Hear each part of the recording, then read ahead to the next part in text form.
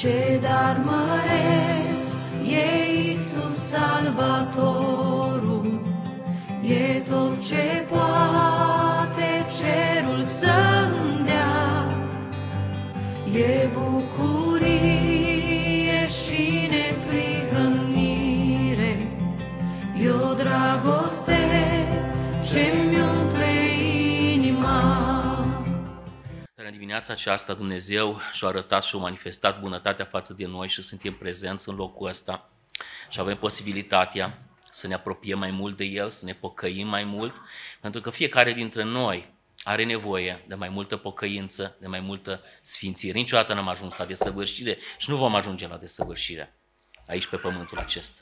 Și de aceasta e nevoie de părtășie, e nevoie de prezența lui Dumnezeu, e nevoie de a mai veni la biserică. Dimineața aceasta vă invit să deschidem Sfintele Scripturi la pagina 945.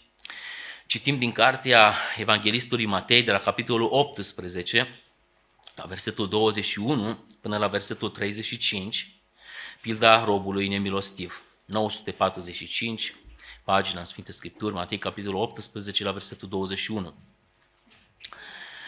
Atunci Petru s-a apropiat de el și a zis, Doamne, de câte ori să iert pe fratele meu când va păcătui împotriva mea?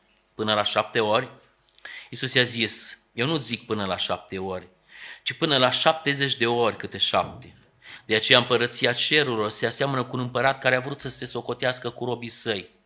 A început să facă socoteală și i-au adus pe unul care îi datora 10.000 de galbeni, fiindcă el n-avea cu ce, plăti, cu ce plăti.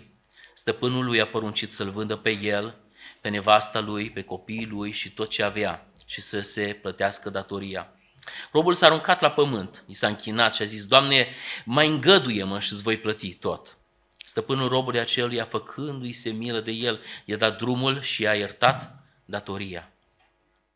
Robul acela, când a ieșit afară, a întâlnit pe unul din tovarășii lui de slujbă, care era dator 100 de lei. A pus mâna pe el și îl strângea de gât, zicând, plătește-mi ce mi ești dator.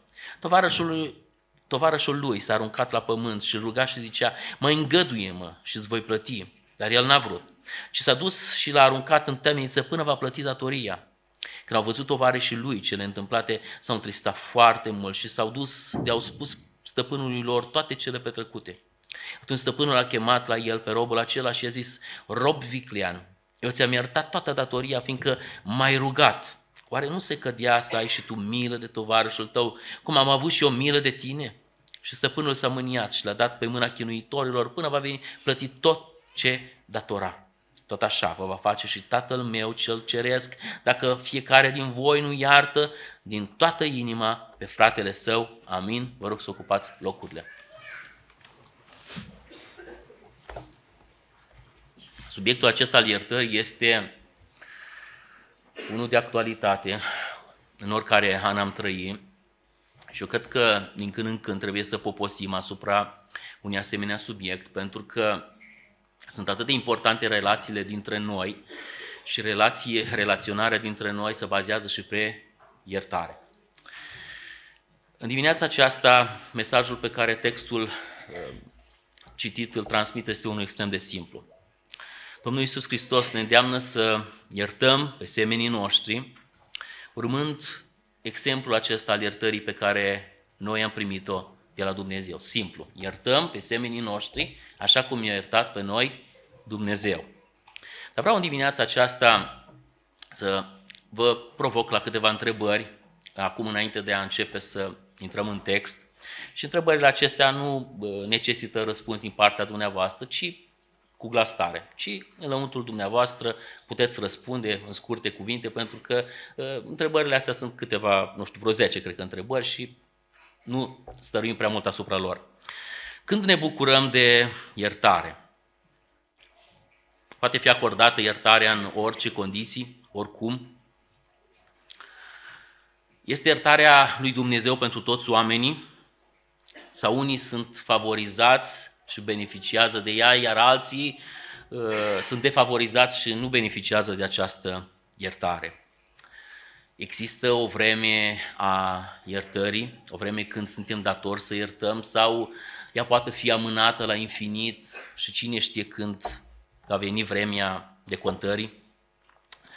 Cum afectează relația neconformă cu semenii relația noastră cu Dumnezeu?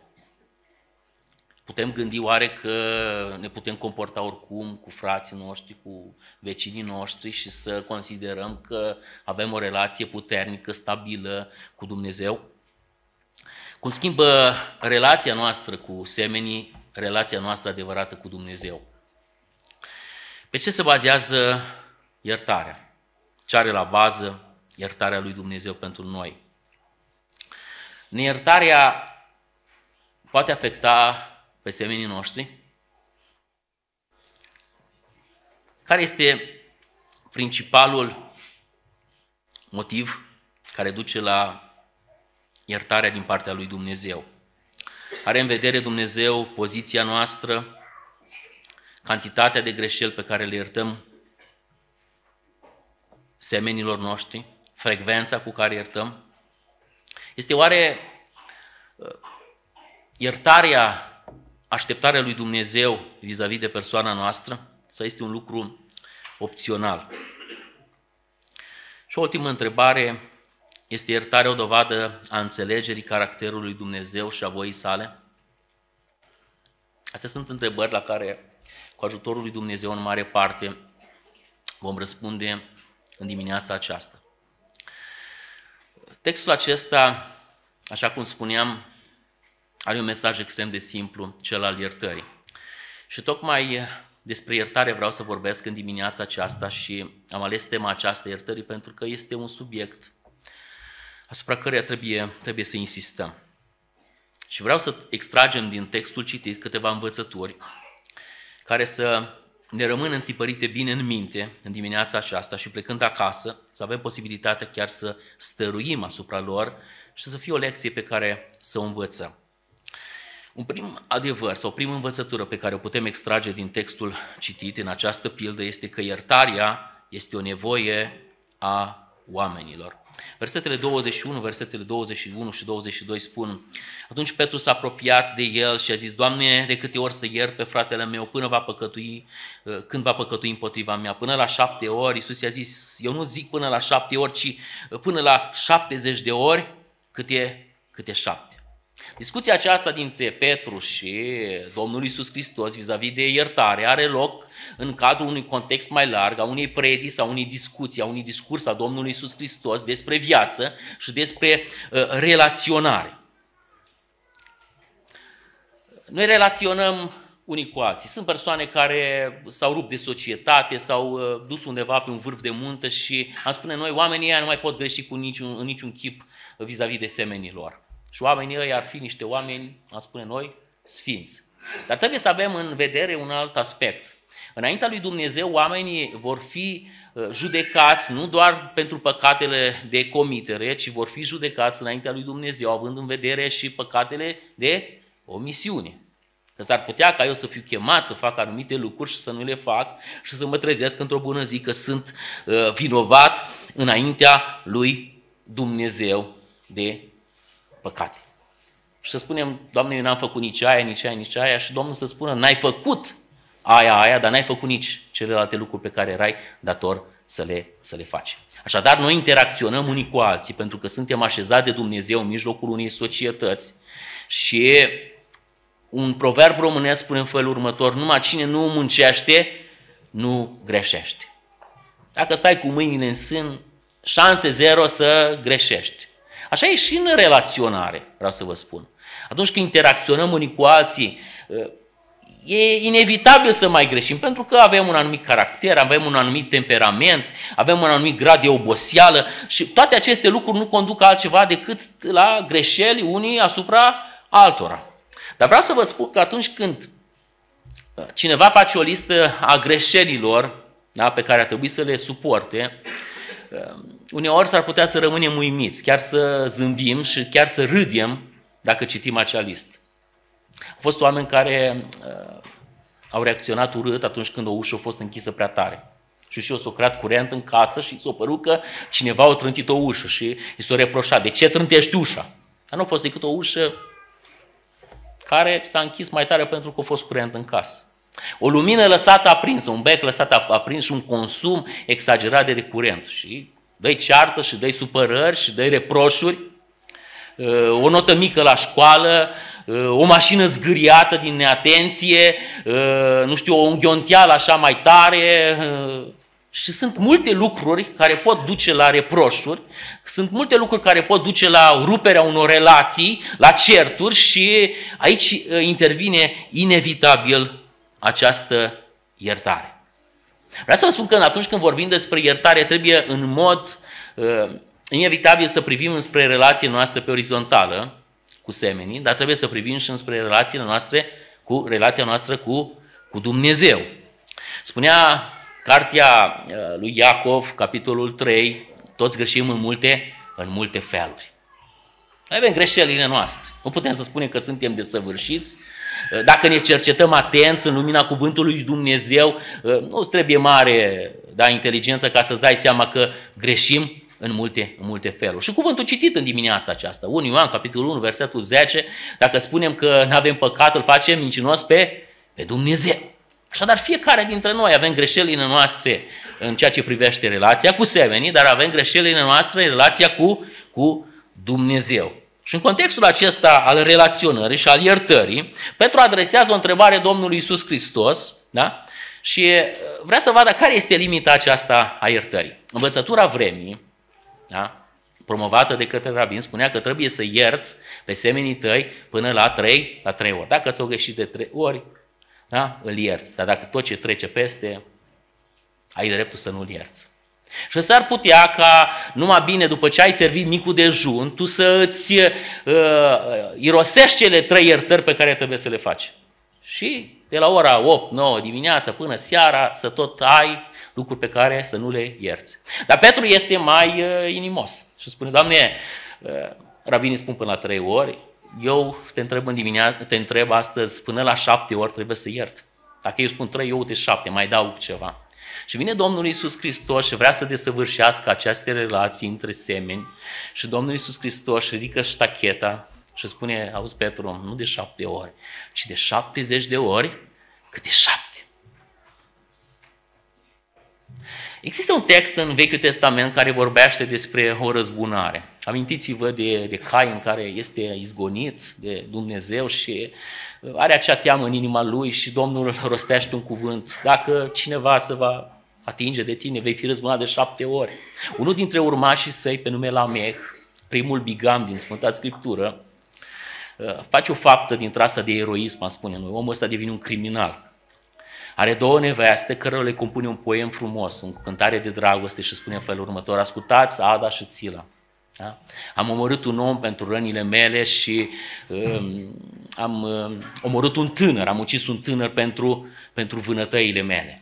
Și omul ăsta se laudă și spune că dacă Cain va fi răzbunat de șapte ori la Meh, da? eu mă voi răzbuna de 70 de ori câte șapte.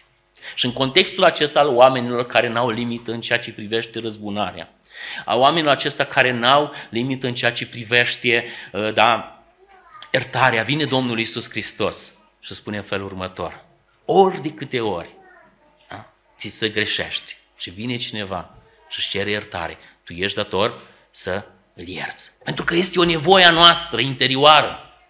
Omul are, nu are numai nevoi de securitate, nevoi fiziologice. Omul are și nevoia aceasta a iertării.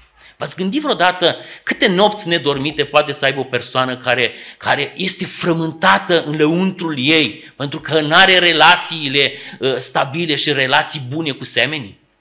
V-ați gândit vreodată uh, ce sentimente poate să trăiască cineva care, care îi se refuză iertarea și vine și își cere iertare într-un mod cât se poate de sincer?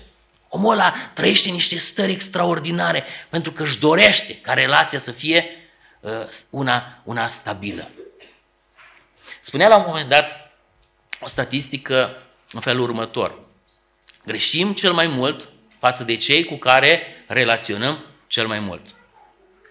Și asta nu e o statistică care să uh, necesită prea multă cercetare. Cu siguranță vom greși celor cu care petrecem celor cel mai mult, cel mai mult timp. Dacă petești cel mai mult timp cu soția și cu copiii, lor le vei greși cel mai mult. Dacă petești cel mai mult timp cu frații de închinare, cu lor le vei greși cel mai mult. Cu colegi, lor le vei greși. Și la un moment dat s-ar putea să ne trezim că suntem atât de familiari unii cu alții și să considerăm că nu mai e necesar să ne cerem iertare. Domnule, asta vine de la sine, vine la pachet. Eu sunt uh, um, cumva atât de apropiat de persoana aceea și uh, iertarea vine de la sine, fără să mai rostim cuvântul acesta al, al iertării. Dar vreau să spun că astea nu vin la pachet. Greșim într-adevăr celor apropiați nouă cel mai mult, dar și acolo trebuie să cerem iertare și Domnul din cerul să ne binecuvinteze, să avem și puterea aceasta. Dar s-ar putea ca să considerăm, da, că celor care ne sunt nouă departe, da, interacționăm mai puțin și le-am greșit, nu e necesar să le cerem iertare. Pentru că timpul le acoperă pe toate distanța, să vă uita. Vreau să vă spun că sunt răni care se transmit de la an la an și rănile alea se acutizează. Veți găsi oameni care păstrează vie în memoria lor une cuvintele care au fost rostite de cineva Acum, 25 de ani în urmă, și ce aminte, să ții minte că ne-am întâlnit la alimentară, stăteam la coadă, așteptam pâine și tu mi-ai rostit și mi-ai spus cuvintele alea. Oamenii alea, oamenii păstrează rănile alea în, în, în inima lor și nu se uită. Și remediul pentru acea situație nu este altceva decât iertarea pe care trebuie să o oferim și pe care trebuie să o cerem și Domnul să ne binecuvinteze la lucrul acesta. Nu mizați pe, pe, timp, pe, pe um, expresia aceasta, timpul da? le rezolvă pe toate. Dar timpul uneori a, a, produce uitare în mintea noastră, dar s-ar putea să nu aibă același efect da? și în, în dreptul cerac față de care am greșit. Știți ce se întâmplă? Oamenii, uneori uitarea este o binecuvântare. Uităm ce, uh, pe cei care ne-au greșit, uităm uh, ceea ce ni s-a greșit, da? Dar uneori vreau să vă spun că oamenii nu pot să uite lucrul ăsta. Și-ar dori să uite, dar nu pot. De aceea, remediul pentru aceste situații nu este altul decât exprimarea uh, părerii de rău și cererea iertării. Și Domnul să ne binecuvinteze. Este o nevoie a fiecare dintre noi, pentru că noi toți greșim în multe, în multe feluri. Și vreau să vă spun în dimineața aceasta, iubiți frați și surori, pentru că atunci când ne întâlnim la casă de rugăciune, suntem provocați la rugăciuni de felul acesta să ne mărturisim înaintea lui Dumnezeu. Vreau să spun că rugăciunea aceasta nu este o rugăciune uh, la care suntem îndemnați doar așa ca să urmăm un anumit tipar. Asta nu e o rugăciune ca să mai treacă timpul și cumva să ne încadrăm și noi într-un anumit orar. Noastră este o necesitate a noastră a fiecăruia, pentru că rugăciunile noastre influențează, da? iertarea noastră influențează rugăciunea noastră înaintea lui Dumnezeu și influențează relațiile noastre cu semii noștri și cu frații de credință. Domnul din cerul să ne binecuvinteze la lucrul acesta. Așadar, o prim adevăr pe care textul acesta îl transmite este că iertarea este o nevoie a oamenilor. Apoi, iertarea este o dovadă a milei. De la versetul 27 la versetul 33 putem să descoperim acest adevăr pe care l-am enunțat. Iertarea este o dovadă a milei. Slujbașul acesta are o datorie acumulată în fața stăpânului. Stăpânul îi calculează și vede că are o datorie de 10.000 de, de galbini. Și este datorie imposibil, imposibil de plătit. Atunci când vede situația, vede starea omului, plecăciunea lui, rugăciunea lui, uh, insistența cu care vine înaintea stăpânului, uh, acestui stăpânii să face milă de robul său, de slujbașul său. Poate au avut și el, poate are și el, avea și el o nevastă, poate avea copii și el. Dar cert este că i s-a făcut, i s-a făcut milă. Mila stăpânului se exprimă față de slujbaș nu doar prin o amânare a datoriei, pentru că și asta ar fi fost un semn de îndurare, dar mila stăpânului se exprimă față de slujbașul său prin ștergerea datoriei. Ce poate fi mai frumos? 10.000 de galbeni pe care niciodată n-ai fi putut să-i, să plătești nici în viața asta, vreo 10 vieți probabil dacă trăiai, nu reușeai să achiți datoria aceea. Și dintr-o dată să, să ți se spună că ți s-a iertat datoria. Vreau în dimineața aceasta să vă provoc așa pentru a ține mintea cât de cât așa activă, că uneori cădem în gândire și poate lucrurile care spuse ne conduc înspre anumite evenimente din viața noastră și noi ne îndepărtăm de ceea ce să spunem. Vreau să facem un exercițiu. Care este cel mai grozav lucru sau păcat pe care un om poate să-l comită? Aveți posibilitatea să enunțați cu glas tare să spuneți. Ce ar putea să săvârșească un om și să fie considerat cel mai grozav păcat? Unii, cineva s-ar putea să spună, mă, o crimă. Criminal, un criminal în serie. Ok, dar vorbim uh, relaționarea noastră. Sinucidere. Cineva s-ar putea să spună un viol. Da. Cineva s-ar putea să spună canibalism. Da. Și crimă după aia o... Vedeți noastră, lucrurile pot fi extrem de variate. Mintea noastră zboară înspre ceea ce am auzit, ceea ce am citit și în funcție de capacitatea noastră procesăm aceste informații și facem dif- diferite clasificări. Da? Dar vreau să vă mai pun o întrebare. Da? Care ar fi cel mai nesemnificativ păcat pe care ar putea să-l facă cineva? Unul care nu e băgat în seamă. Hm? Neascultarea. Cum? Amânarea. Uite, acum două săptămâni în urmă vorbeam despre bârfă. A, nu o bagă nimeni în seamă. O minciunică, am spus, da, atunci era minci, minciună și o minciunică. Minciunică, ceva nesemnificativ, nu o bagă nimeni în seamă. Indiferența. Vedeți dumneavoastră câte lucruri da, pot fi considerate ca fiind uh, de nebăgată, nebăgată, nebăgată în seamă. Dar uh, textul din dimineața aceasta ne învață următorul adevăr. Ambele datorii, da? ambele lucruri care sunt considerate mari sau mici, se acumulează în viață și duc la niște datorii imense. Fie că ești criminal în serie, fie că ești uh, uh, și, și eu ce acte de uh, barbarism și cruzime faci, toate aceste lucruri se acumulează și duc la o datorie imensă. Fie că bârfești, neascultători, indiferență, fie că amâni, da, ceea ce se spune dimineața aceasta, toate aceste lucruri nu fac altceva decât să se acumuleze și să ducă tot la o datorie, la o datorie imensă. Dar în dimineața aceasta, cuvântul lui Dumnezeu ne învață în următorul adevăr. Dumnezeu a privit înspre noi și a privit înspre starea noastră și înspre datoriile pe care noi le-am acumulat. Și lui Dumnezeu i s-a făcut milă de noi, da? Și a spus în dreptul nostru, în urma părerii noastre de rău, a um, pocăinței noastre, uh, a rugăciunilor noastre exprimate înaintea Lui și a spus Domnul în felul următor, ți să șterge datoria. Oricine ai fi în locul acesta, vreau să spun că prețul pentru ștergerea datoriei tale este același, este sângele lui Isus Hristos. De multe ori am mai spus, exprimăm în rugăciunea noastră, Doamne, mai varsă din sângele Tău o picătură. Nu, noi avem iertarea în jertfa lui Isus Hristos. Tot sângele lui Hristos o scurs la Golgota și în meritele acestei jerfe, noi ori de câte ori greșim și venim înaintea Tatălui, știm că avem acest miel de răscumpărare pe Isus Hristos și în jertfa Lui noi suntem iertați.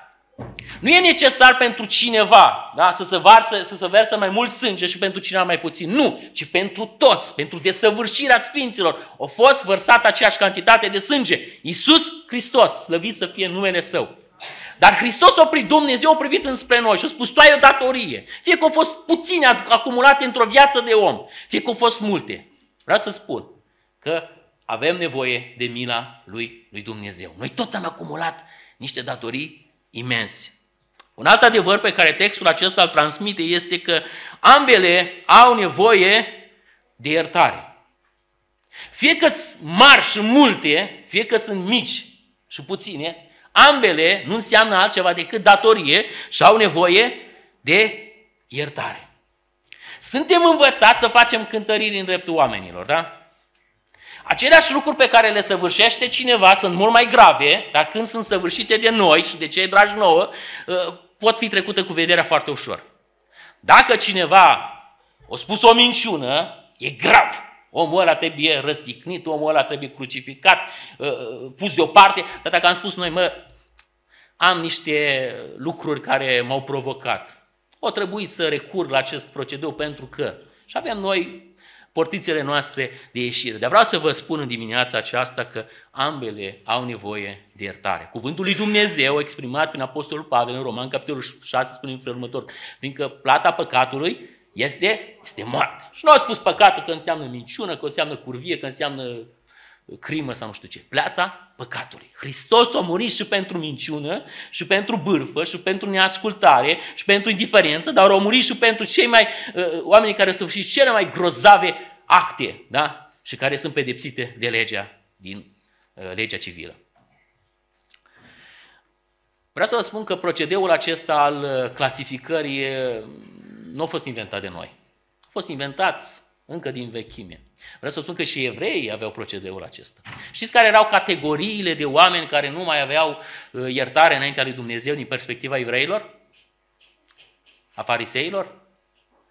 Vameșii și femeile de moravuri ușoare. Și de aceea spune la un moment dat Domnul Iisus Hristos, ăștia voiau înainte. Voi aveți o neprihănire a voastră, dar ăștia voiau înainte. Despre Zacheu. Cine ar mai fi spus că are vreo șansă de, de mântuire? Nimeni, pentru că ăsta era considerat un om vândut romanilor, un om care s-a făcut, uh, o săvârșit niște păcate care nu sunt acceptate și nu mai are iertare niciodată. Amintiți-vă de femeia aceea care vine în casa lui Simon Leprosu și face acel act extraordinar și toți privesc înspre ea că e femeie păcătoasă, gata, te-ai întinat, că s-o atins de tine, dacă nu ești prorocă, dacă ai fi știut despre femeia aceasta, n-ai fi lăsat-o. Oamenii aceștia erau clasificați ca oameni irecuperabili. Dar adevărul pe care textul acesta îl transmite este următorul. Oricât de mari datorii sau de mici datorii ai avea, tu ești datornic înaintea stăpânului. Tu ești dator. Apoi un al treilea lucru pe care vreau să spun este că diferența dintre cele datorii, aceste două datorii poate fi și datorii, diferența dintre datoriile noastre pe orizontală și datoria noastră pe verticală. Oricât de mulți ar fi greșit da, soția, copilul, vecinul, fratele, fratele în credință, șeful, colegul, niciodată el n-ar fi putut să-ți greșească atât de mult cât ai greșit tu lui, lui Dumnezeu. În relațiile noastre e absolut necesar să folosim cuvântul acesta, expresia aceasta, iartă-mă. Spuneam că lucrurile nu se șteargă la sine. E atât de greu să călcăm pe noi și să spunem cuvântul și să rostim asta, iartă-mă, frate, că ți-am, ți-am greșit. Noi suntem infailibili, nu avem cum să greșim, da? Și atât de greu ne vine să rostim cuvintele acestea, iartă-mă. Ați găsit cumva în Sfânta Scriptură expresia asta, scuză-mă? Nu, eu am găsit iartă-mă. Vedeți, de cele mai multe ori recurgem la uh, expresia asta, scuză-mă, pentru că asta e mai ușor de acceptat. Iertarea deja presupune o greșeală mai mare. La scuză-mă. Eu cred că în relaționarea noastră noi trebuie să folosim expresia asta, iartă-mă. Te scuzi că vrei să treci mai în față și cineva stă de vorbă la rând, stă de vorbă în magazin și tu n-ai cum să ajungi la produse. Te scuzi că, nu știu, în grabă l-ai atins și poate îi supăr nu știu ce. Astea sunt lucruri la care trebuie să ne scuzăm. Scuză-mă că vreau să-ți adresez o întrebare, dar când vorbim despre relaționale și greșeli, trebuie să folosim expresia aceasta, iartă-mă. E greu de rostit, dar trebuie să o facem. Dar s-ar putea să cădem într-un, într-o greșeală. Să ni se pară atât de, să o folosim atât de des, da? și să ni se pară că e ca bună ziua. Cum băia apa așa așa. Iartă-mă, iartă-mă, iartă-mă, iartă-mă, iartă-mă. iartă-mă. Ceea ce vreau să spun în dimineața aceasta este că atunci când uh, interacționăm unii cu alții, uh, folosim această iartă-mă, dar ni-l asumăm. Da? Nu doar ca să dăm bine, nu ca să reparăm situația cumva din perspectiva lui, ci trebuie să schimbăm ceva în noi. Și acest iartă-mă lucrează la lucrul acesta. Spune cuvântul lui Dumnezeu în Luca la capitolul 18, o pildă pe care o cunoaștem fiecare dintre noi. Da? E des amintită și la ore de rugăciune, un vameș și un fariseu se duc la templu și ambii vor să intre în grațiile stăpânului. Și vameșul acesta se simte atât de păcătos și stă departe și nu îndrăznește să-și ridice ochii pentru că este, este rușine. Cam asta trebuie să facă greșeala noastră și păcatul nostru în relația cu Dumnezeu în viața noastră. Dacă păcatul nu mai produce rușine, înseamnă că ceva în noi a adormit și trebuie să trezească și asta înseamnă conștiință. E adevărat că trăim într-o vreme în care lucrurile nu mai produc rușine. Lucruri care erau rușine odinioară, astăzi sunt uh, promovate, sunt acceptate și promovate și dacă tu nu te asociezi cu aceștia, devii, uh, cum să spun eu, un, uh, un cadru care stă împotriva evoluției și modernismului și ești considerat un om învechit. Dar ceea ce numește Sfânta Scriptură păcat, rămâne păcat și lucrul acesta produce rușine. La un moment dat spune Daniel în capitolul 9, versetul 8, uh, făcând o rugăciune înaintea lui Dumnezeu și spune el, da, noi am greșit și părinții noștri am greșit și noi și el își asumă, deși nu face parte din generația aceea care a încălcat cuvântul lui Dumnezeu, nu face parte din generația anterioară care l-a, l-a insultat și l-a părăsit pe Dumnezeu și din celelalte generații, dar își asumă păcatele, pentru că este rușine. Orice păcat pe care l-ai săvârșit, da? Trebuie să aducă rușine în viața și dacă nu ți-a adus rușine în relația cu Dumnezeu, vreau să spun că acolo e un mare, un mare bai. E rușine pentru că Hristos ți-a făcut atât de mult bine, Dumnezeu te-a, te binecuvântat în atâtea moduri, Dumnezeu ți-a dăruit pâine, Dumnezeu ți-a dăruit apă, ți-a dăruit sănătate, ți-a dăruit vedere, ai atâtea binecuvântări pe care alții nu le au. Și păcatul nu face altceva decât să-L insulte pe Dumnezeu, să-L ofenseze pe Dumnezeu. Și privind în relația mea cu Dumnezeu, înspre binecuvântările care au venit, mă simt rușinat astăzi, Doamne, că ți-am călcat, ți-am călcat cuvântul. Dar și în relația cu, cu, cu, cu semenii noștri, când am greșit cuiva, vreau să vă spun că asta trebuie să ne rușineze. Pentru că Dumnezeu are anumite așteptări de la noi. Prin legământul făcut înaintea Lui, că îi vom sluji și voi fi credincioși lui Dumnezeu. Am spus că ne vom sili cu toate puterile ca să ne asemănăm caracterul lui și să fim asemenea lui. Și amintiți-vă de Iov, despre care Dumnezeu, ai văzut pe robul meu Iov. Ce spune ca Dumnezeu să rostească înaintea oamenilor și înaintea uh, stăpânitorilor, uh, înaintea uh, stăpânirii viacului acesta, diavolului să spună, ai văzut pe robul meu, Daniel, ai văzut, uite-te la el cum e. Eu nu am după placul meu. Și la un moment dat, prin nevegherea mea, prin atenția mea, săvârșesc anumite lucruri. Asta trebuie să-mi aducă rușine. Pentru că Dumnezeu are anumite așteptări de la, via, de la viața mea. Dar păcatul în viața omului trebuie să mai ducă și, și durere. Stătea vameșul acesta departe și se bătea cu pumnul în piept. Da? De obicei, pumnul ăsta în piept înseamnă mândrie, fală și multe, dar cum îl doare pe el? Îl doare păcatul. Când David a păcătuit înaintea lui Dumnezeu, a păsat atât de mult glasul ăsta al conștiinței înăuntru lui și simțea că mâna lui Dumnezeu apasă atât de greu asupra lui, simțea cum îi se usucă vlaga, că îi se topesc coasele, așa lucra conștiința în el. Și îl tortură păcatul și îl doare.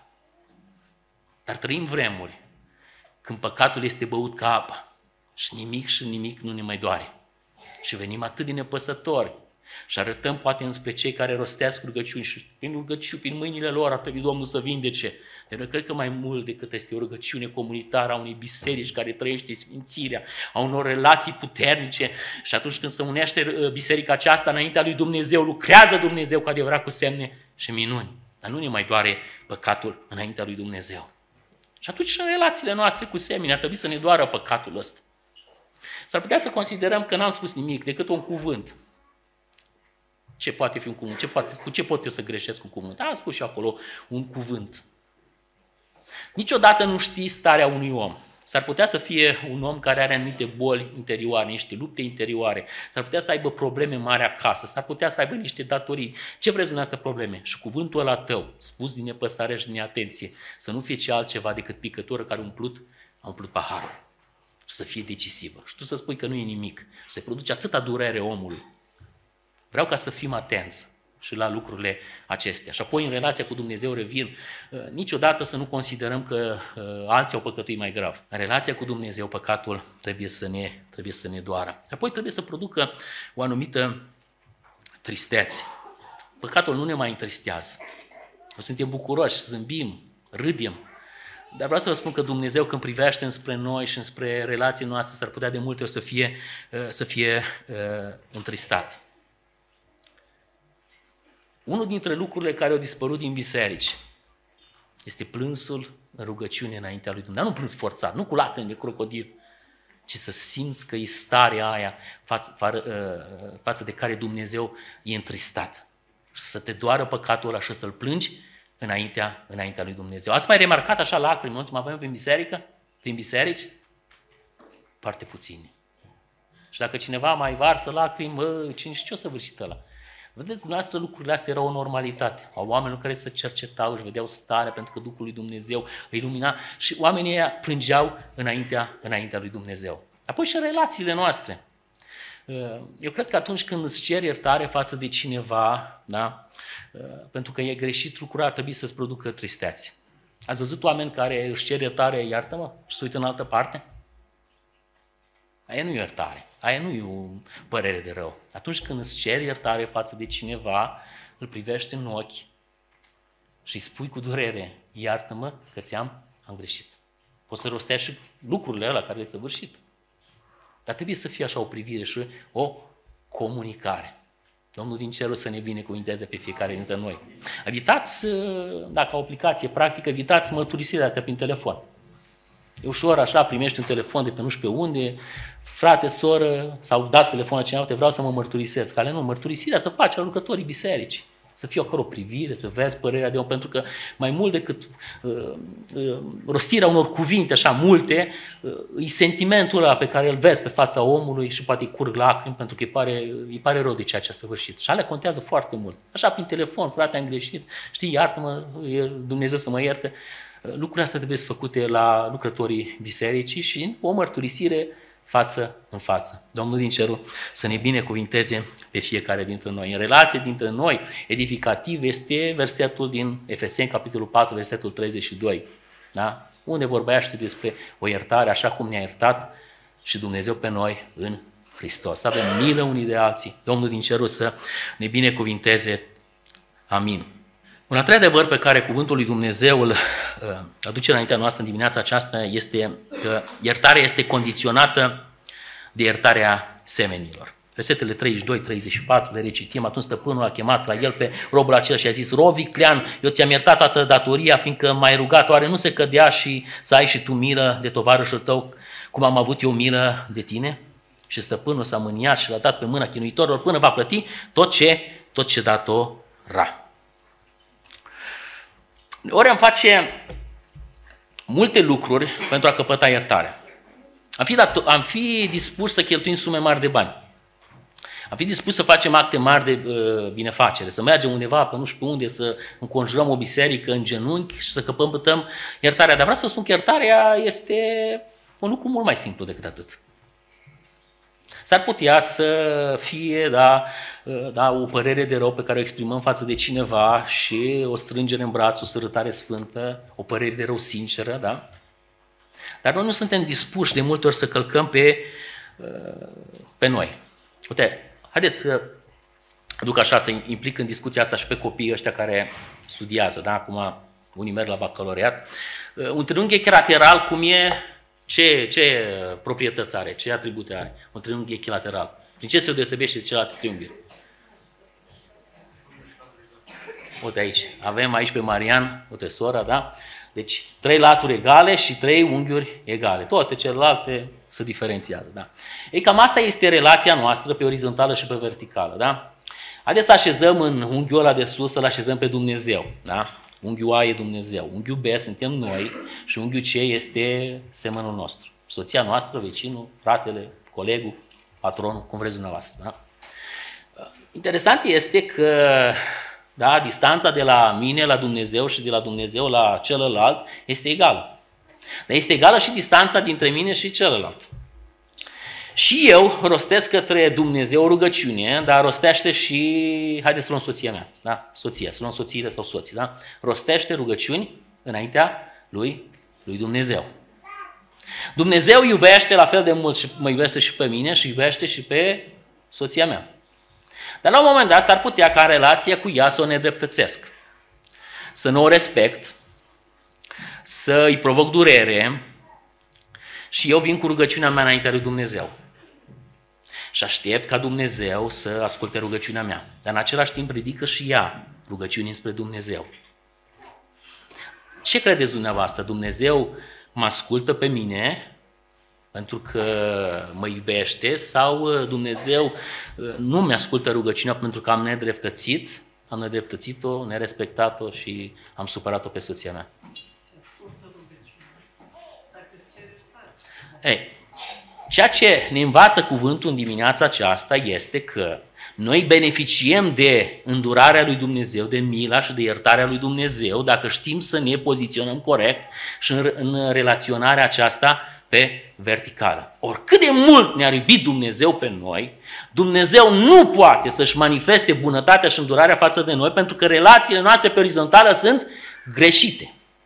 Și atâta timp cât nu ne rezolvăm da, greșelile noastre și relațiile noastre pe orizontală, Dumnezeu nu poate să intervină în dreptul, în dreptul nostru. E ceva ce îl împiedică pe Dumnezeu. Am spune noi că, cum adică Dumnezeu tot puternic să fie împiedicat? Da, nedreptățile astea ale noastre care îl împiedică pe Dumnezeu să-și manifeste uh, bunătatea și îndurarea față de noi. Oricât de mult ne-ar, ne-ar iubi.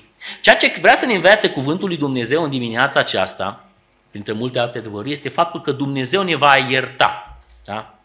Și va asculta rugăciunile noastre atunci când noi suntem dispuși să iertăm da? pe cei care ne-au, ne-au greșit.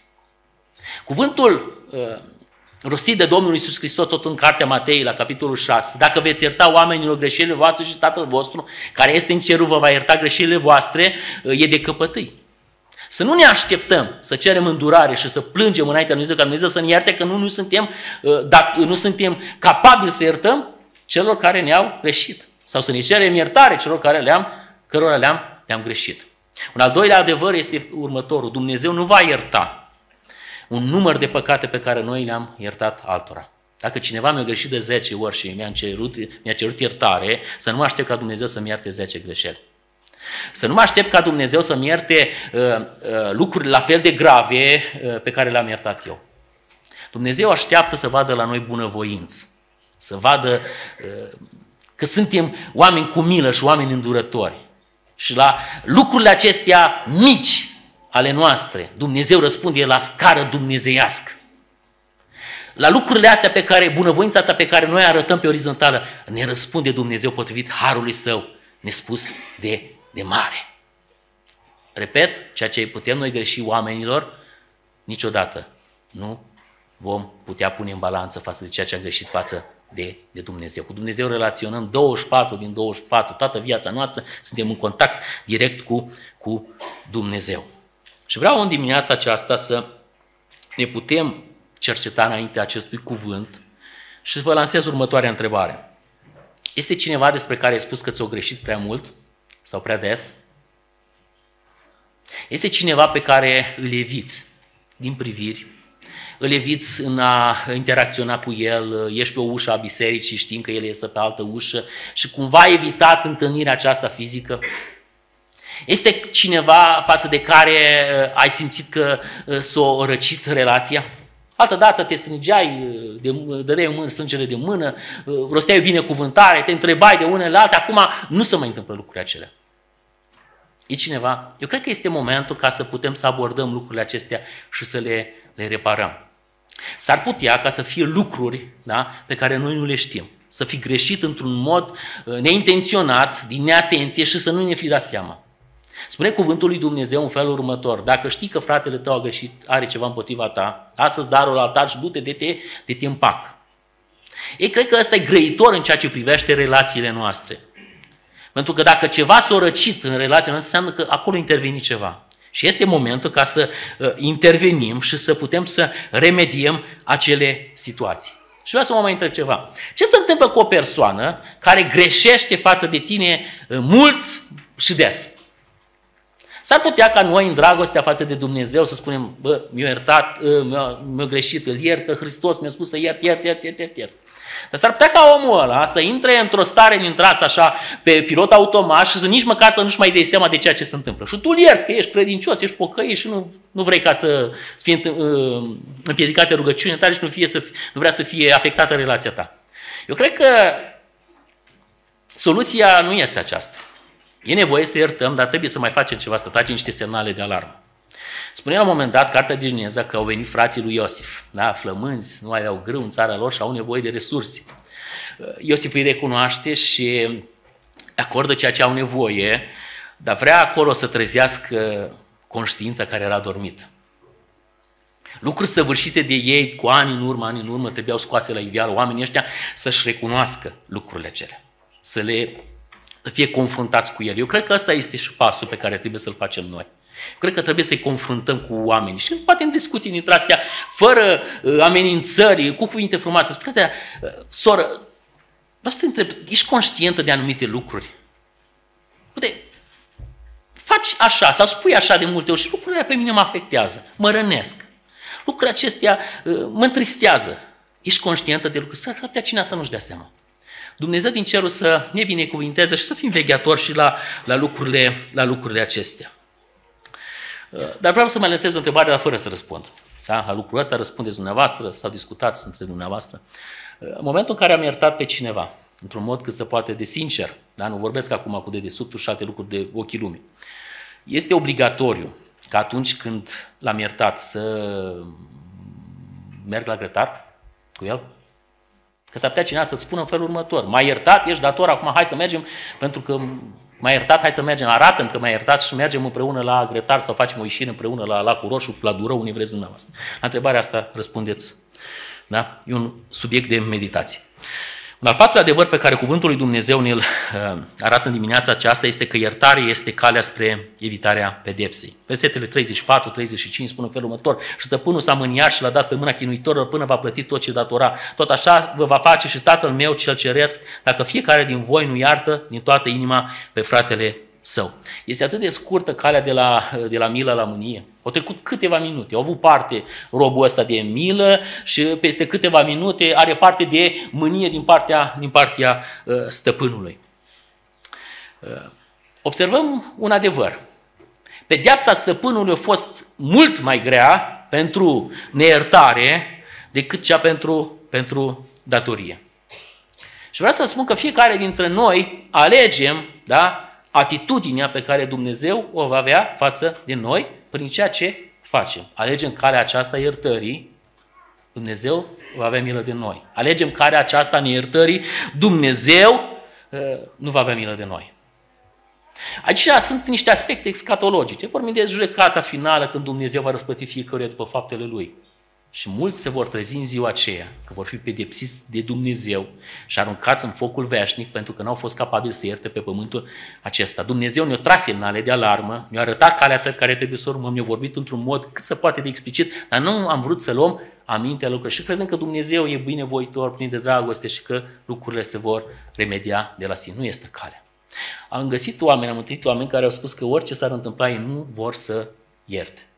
Dar vreau să vă spun că Există și alte, alte pedepse. Marcu, capitolul 11, 25, spune în felul următor, când stăm în picioare și ne rugăm, da? să iertăm greșit cel ce ne-au greșit. Așadar, ori de câte ori stăm în picioare, cel mai multe rugăciuni să stau în picioare, amintiți-vă de greșelile dumneavoastră și a altora și iertați pentru ca și Dumnezeu să ne asculte uh, rugăciunile noastre și să ne ierte pe noi. Apoi, în contextul acela al cinei Domnului, uh, cuvântul Dumnezeu vorbește despre relaționare, o relaționare corectă și dacă vrem ca între noi să nu fie mulți bolnavi, să nu, fie, să nu doarmă mulți, adică să fie morți, da? să ne cercetăm și să vedem dacă relațiile noastre sunt așa cum cere cuvântul lui Dumnezeu. Domnul din cerul să ne binecuvinteze pe fiecare dintre noi. Vreau în dimineața aceasta să închei spunând că iertarea este necesară pentru a, a ne bucura de iertarea lui Dumnezeu. Indiferent de cât suntem datori să plătim din buzunarul nostru, de câte sacrificii am face, vreau să vă spun că Dumnezeu privește înspre inima noastră, privește înspre capacitatea noastră de a ne ierta unii pe alții și de a ne cere iertare înaintea Lui și lucrurile acestea sunt decisive în căpătarea iertării lui Dumnezeu. Iertarea e necesară pentru a ne bucura de relații bune cu, cu semenii.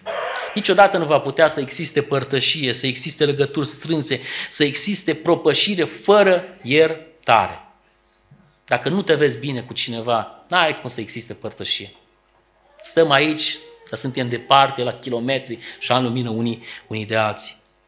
Uh, iertarea e necesară pentru protejarea familiilor noastre, pentru că în toate actele acestea sunt uh, implicați soți, soții, copii și generații la rând. Oameni care nu și-au putut vorbi de generații pentru că străbunicul pe vremea războiului de independență 1877, nu știu ce a făcut lui stră, stră, străbunicul.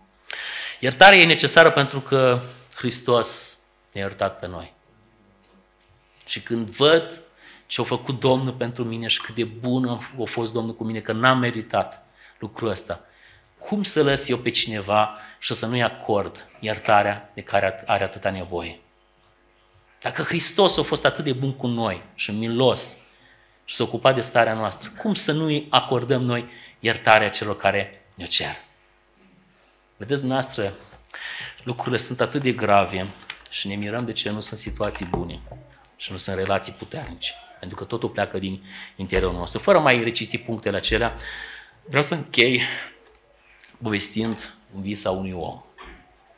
Spune că un om s-a păcăit și a avut parte de un vis, cunoscându-și viața lui, păcatele lui. A visat că era înaintea uh, lui Dumnezeu și erau niște uh, sertare multe, niște dulapuri cu sertare și în, în sertarele acelea uh, erau niște dosare. Și dosarele acelea erau practic viața fiecărui om. Și atunci când stătea înaintea lui Dumnezeu, ca la un fel de judecată, au venit pârâșul fraților, diavolul, și condamna.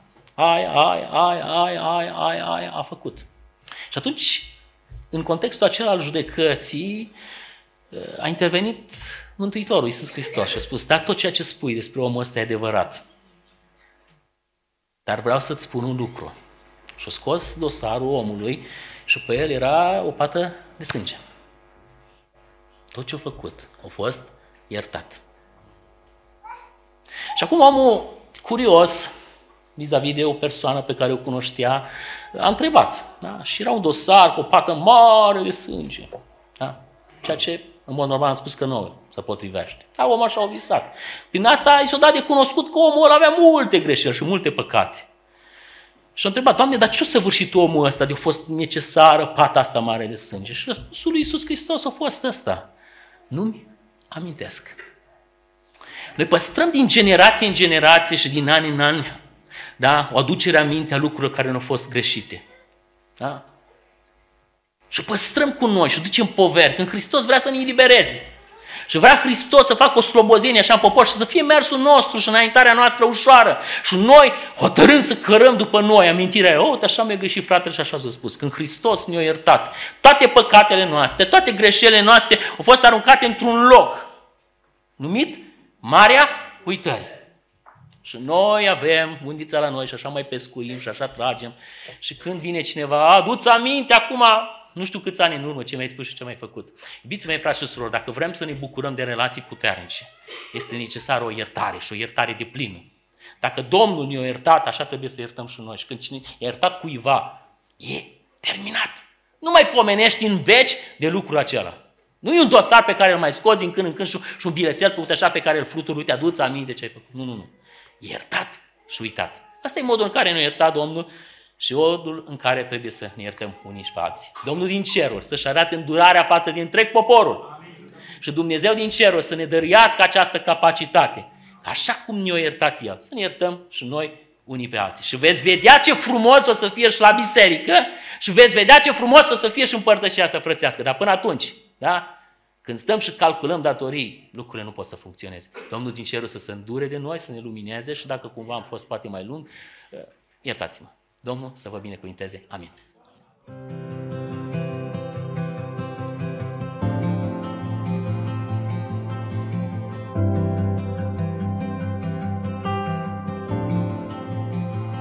Ce dar măreț e Iisus Salvatorul, e tot ce poate cerul să-mi dea, e bucurie